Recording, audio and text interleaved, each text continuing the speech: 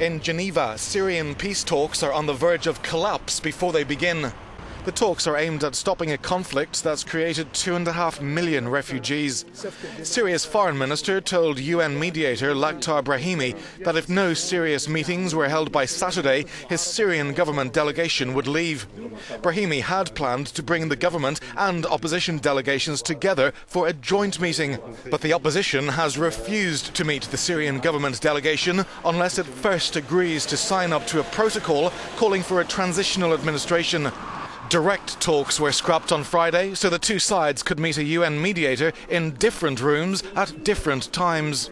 The negotiations will be indirect until the regime signs Geneva 1. If they won't abide by Geneva 1, then direct contact will not be beneficial. Brahimi wants to start with practical steps like local ceasefires, prisoner releases, and access for international aid deliveries before progressing to tougher political negotiations. But even those small steps would fail if the delegations go home.